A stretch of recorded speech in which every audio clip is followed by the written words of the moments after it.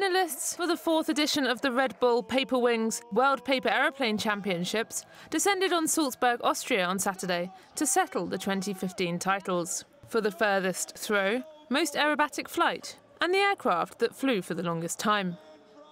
Organisers said that 46,000 people around the world entered the competitions, with over 500 qualifying contests, narrowing the contenders down to just 200. And this has got to be one of the only sports where it's okay to fold under pressure. The furthest throw was a whopping 53.22 metres for Veselin Ivanov of Bulgaria, who designed a pencil slim aircraft that flew straight as an arrow.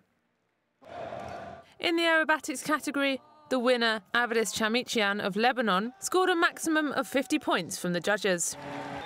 John Collins! This is the